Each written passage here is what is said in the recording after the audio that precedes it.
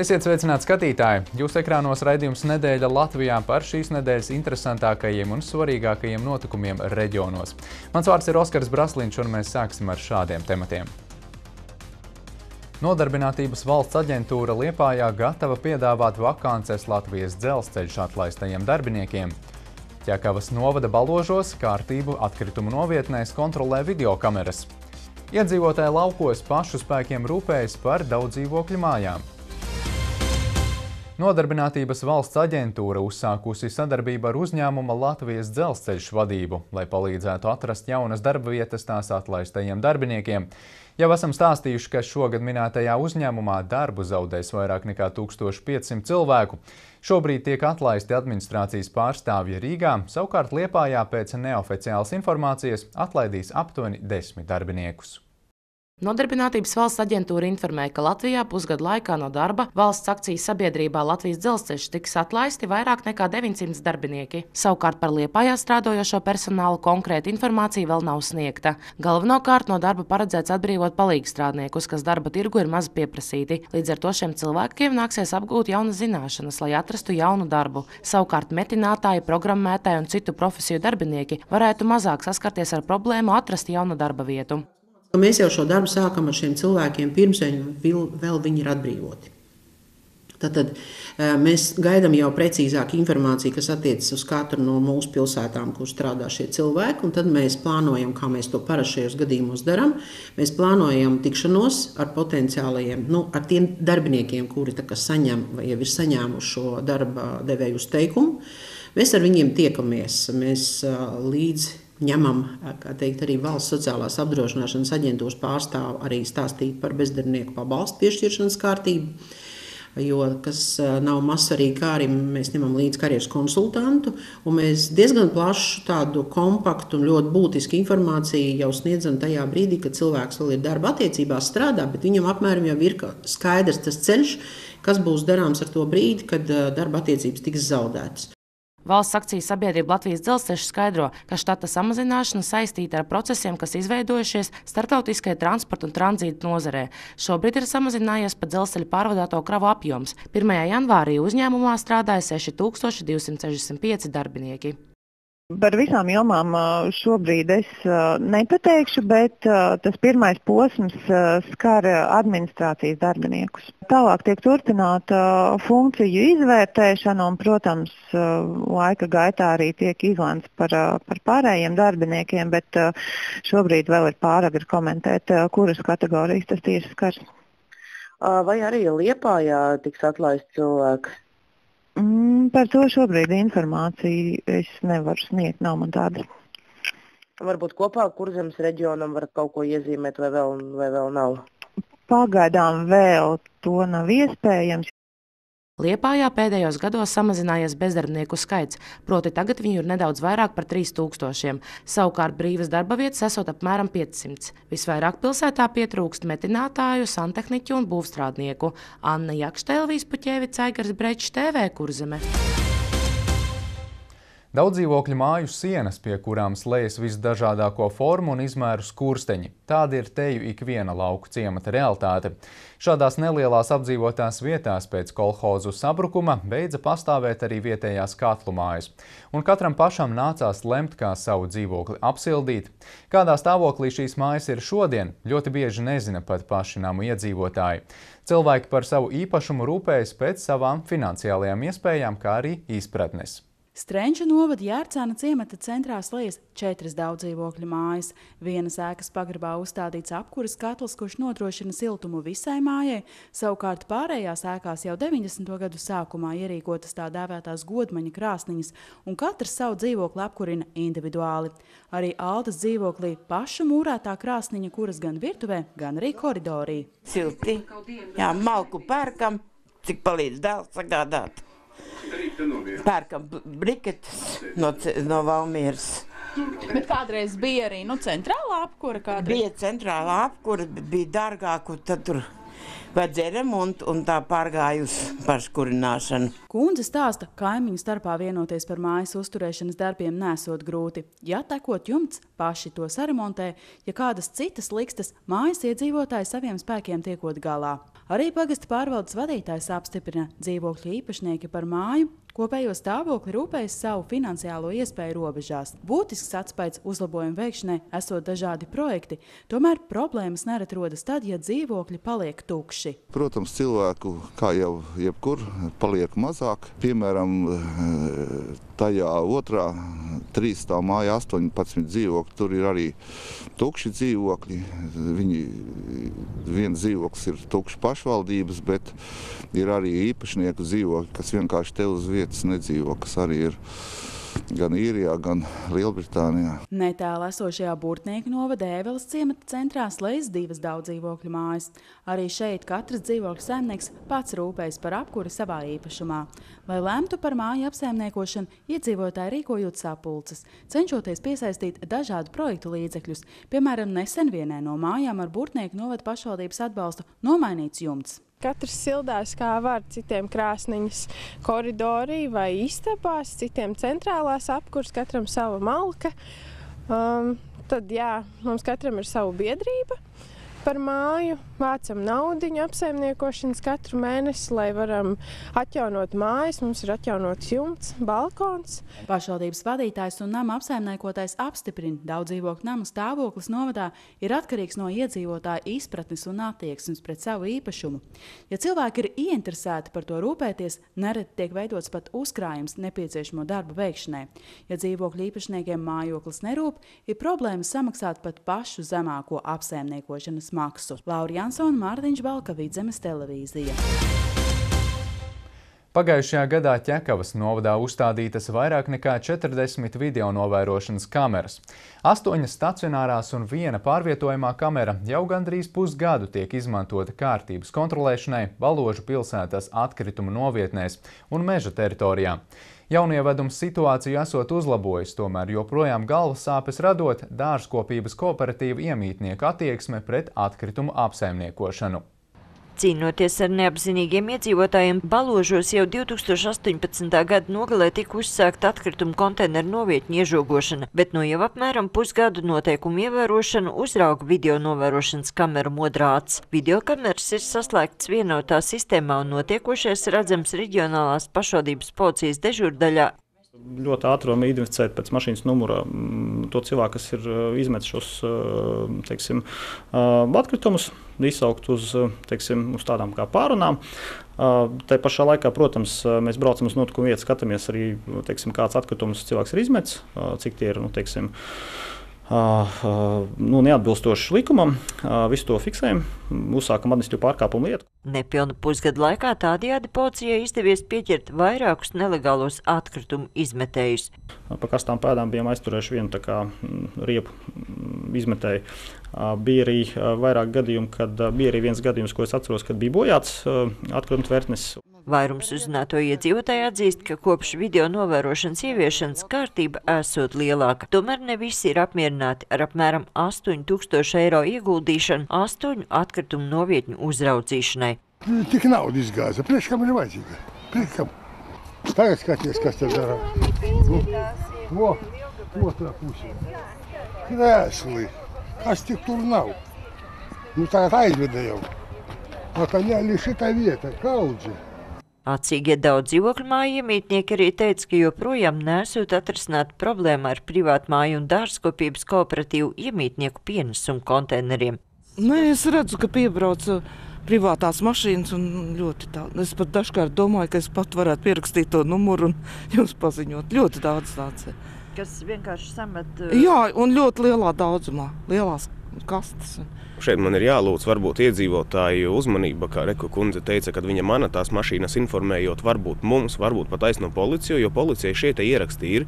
Viņi noteikti var arī izsekot tos, teiksim, mašīnas reģistrācijas, kur, mašīna reģistrēta, kurā, nu, ja tas ir mūsu novads, tad noteikti policija veids apsekošanu privātmāju, noskaidrot, vai viņiem ir šis te līgums ar, par sadzīves atkritumu apsaimniekošanu. Pavisam pagājušajā gadā Baložos un Daugmalē uzstādīts 42 video novērošanas kameras, tostarp arī viena pārvietojumā, ar kuru izdevies atklāt arī kādu meža piesārņotāju. Vairums no kamerām gan uzrauga kārtību izglītības iestāžu un citu publisko vietu tūmā. Sandra Leitāna, Andrs Pāns, Zemgals reģionālā televīzija. Šajā nedēļā mēs vēl stāstījām par to, ka Liepājas lidostai joprojām nav izdevies piesaistīt jaunas aviokompānijas. Vidzemē sprieda par pilotu projekta transports pēc pieprasījuma iegūmiem. Jūrkalnieši nevēlas pievienoties Kuldīgas novadam. No 6. aprīļa lidojumi starp Rīgu un Liepāju tiks nodrošināti sešas reizes nedēļā.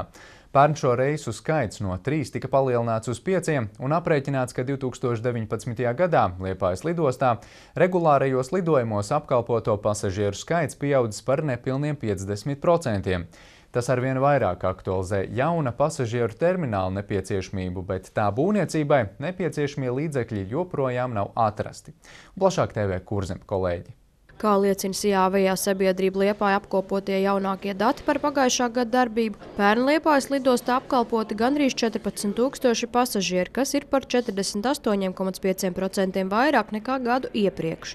Lielākoties pasažieru lidojums caur Rīgu izmantojuši kā savienojumu reisus uz vairāk nekā 70 valstīm. Tas piepildījums ir mazliet zem 50%. Eh, kas eh, varbūt tādā, tādā ja vērtē reizi tā liepāja Rīga, ja viņš būtu tikai liepāja Rīga, ja, tas varbūt eh, tiktu uzskatīts par maz, bet tā kā apmēram 85% mūsu pasažieri ir tranzīta pasažieri, ja, kas lido uz Eiropas un, un, un Krievijas pilsētām, un tas savienojuma efekts, ja, tad jau faktiski divi maršruti tiek ar vienu biļetes iegādi liepāja Rīga izmantot, ja, nu, tad tas efekts ir šeit. Ņemot vērā pasažieru skaitu pieaugumu, lidostā esot nepieciešams būvēt jaunu, ietilpīgāku pasažieru terminālu, jo pašreizējais lielākai cilvēku plūsmai būs par mazu. Pašreiz gan vēl nesot atrast līdzekļi tā būvniecībai. Savukārt, runājot par jauniem tiešiem reisiem no Liepājas, līdz šim joprojām lidostas vadībai nav izdevies noslēgt sadarbību ar kādu avio kompāniju par šī pakalpojuma nodrošināšanu. Zināms, ka pērn Liepāja jauna avio kompānija piesaistē lūgus finansiālu palīdzību valstī, taču satiksmes ministrs norāda, norādījis uz citām prioritātēm. Cenšamies uzrunāt tās avio kompānijas, kurām mēs redzam vislielāko potenciālu. Tad tās, kuras uh, varētu lidot uz Stokholmu, uz Bilundu, uz Hamburgu, uh, uz Maskavu ja, un, un, un Kopenhāgenu arī. Un tāpēc arī nu, mēs ejam tajā virzienā. Protams, ka mūsu gadījumā ir vēl viena nianses, tā kā mums šobrīd termināls ir neliels, tad mēs nevaram piedāvāt varbūt lieliem gaisa kuģiem teiksim, ikdienas tādu regulāru lielu pasažieru plūsmu. 2019. gadā Liepais lidostā apkalpot 428 regulāro reisu lidojumu, savukārt kopējais neregulāro lidojumu skaits Liepais lidostā pērn audzis par 1193 lidojumiem 2018. gadā uz 3124 lidojumiem pērn. Tās galvenokārt skaidrojums ar Aire Baltica trēnings pilota akadēmijas aktivitātēm, jo lidostas teritorijā notiek aktīvi jauno pilotu pilotu sagatavošanu un mācību lidojumu. Tāpat pašreiz noslēgumam tuvojas angāra celtniecība, kurā tiks nodrošināta lidmašīna apkope. Līva Mieze, Elvijas Piķēvics, TV Kurzeme. Pavadīt nevis desmit stundas, lai nokļūtu novada centrā, jo satiksmes autobusi kursē reti, bet gan piezvanot pieteikt transportu pēc pieprasījuma un turp nokļūt vajadzīgajā laikā. Šādu Latvijā vēl nebijušu mobilitātes pakalpojumu jau četrus mēnešus var izmantot iedzīvotāji divos vidzemes novados – Masalacā un Alūksnē. Tagad janvārī, tiekoties ar iedzīvotājiem, projekta īstenotāji uzklausa viedokļus un priekšlikumus par šī pilotprojekta darbību. Nu, aiziet, labi.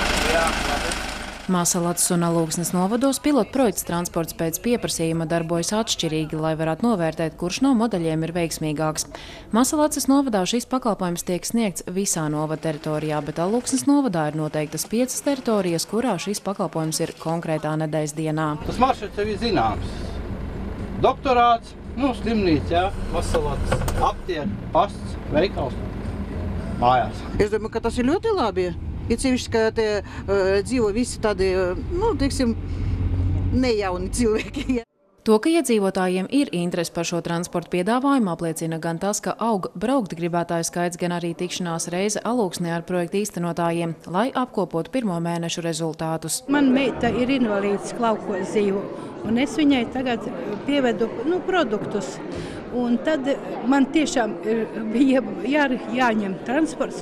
Es citreiz pat ar taksometru braucu un maksāju 10 eiro, lai varētu aizbraukt. Un, bet tagad es aizbraucu ka karalieni.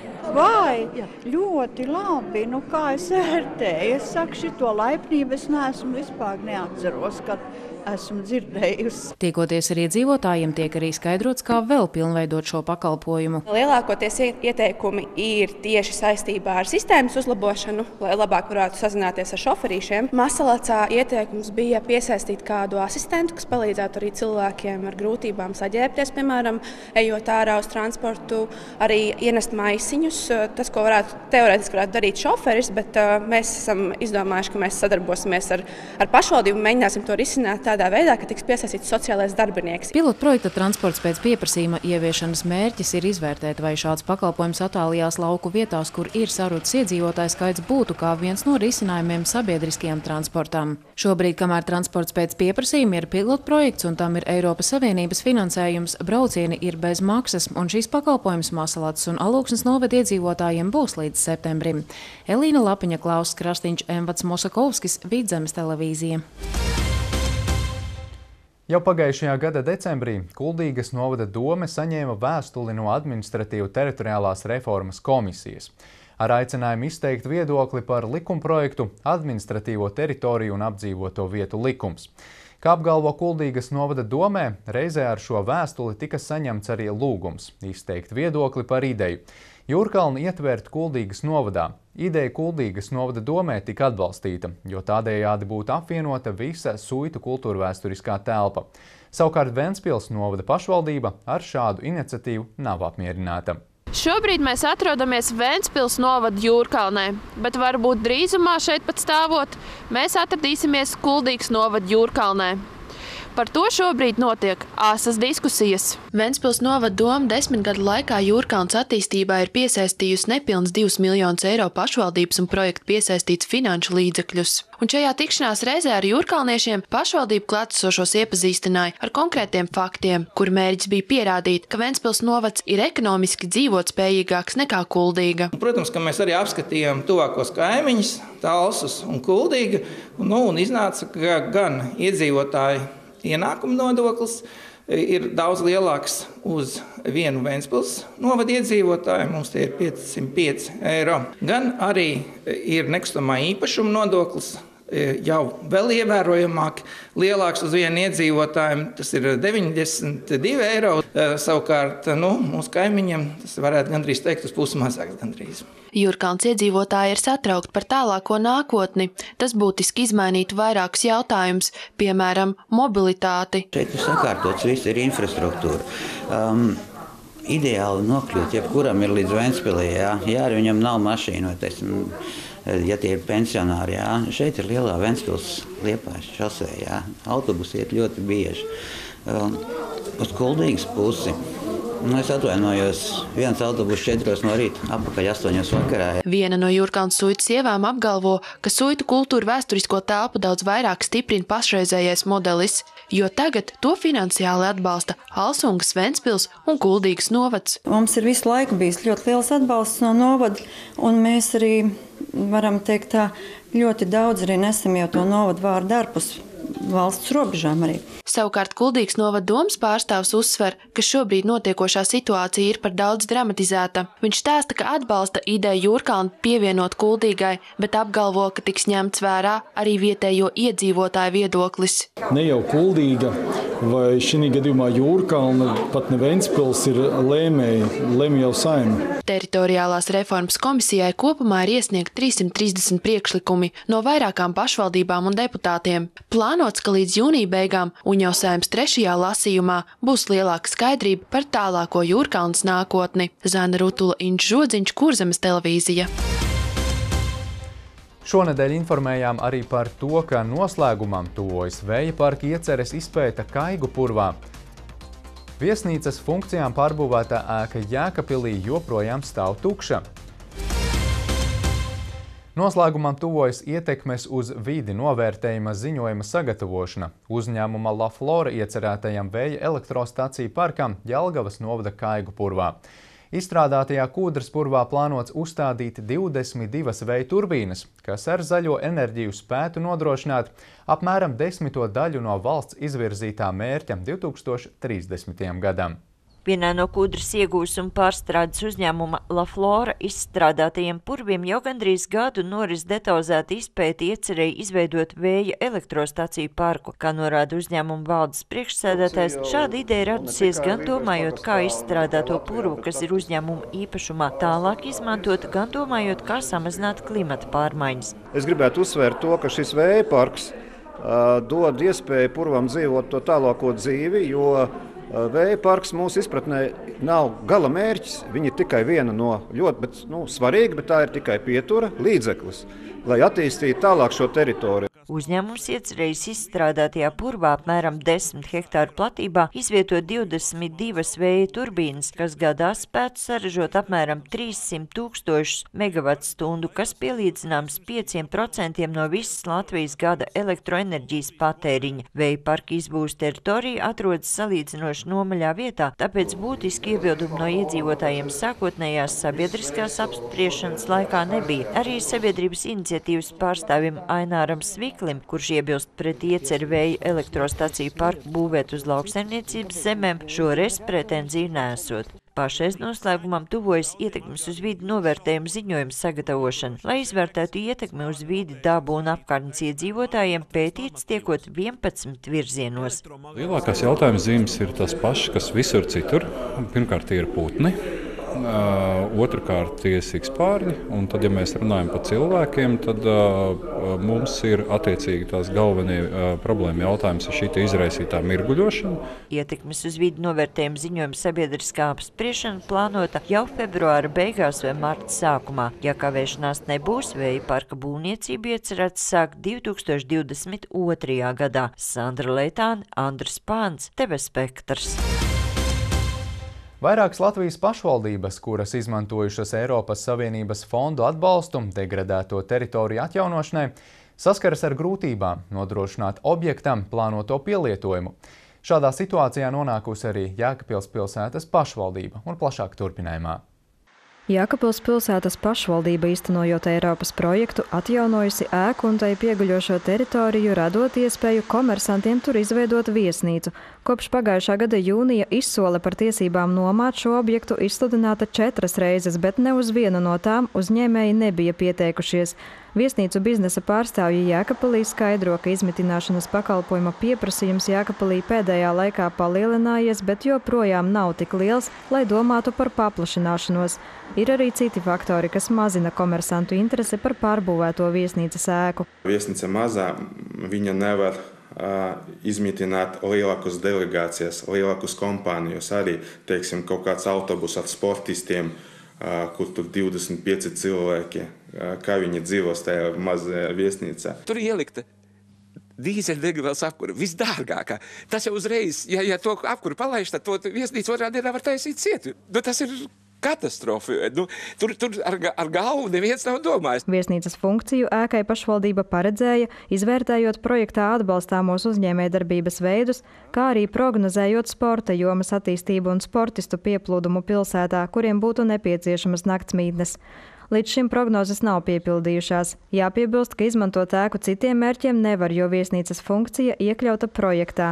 Vēl palikuši pieci gadi, lai nodotu šīs telpas kāda komersanta rīcībā. Sandra Pēgiļkalne, Evelīna Elksnīte, Kaspars Deņļevičs, Vidusdaugavas televīzija.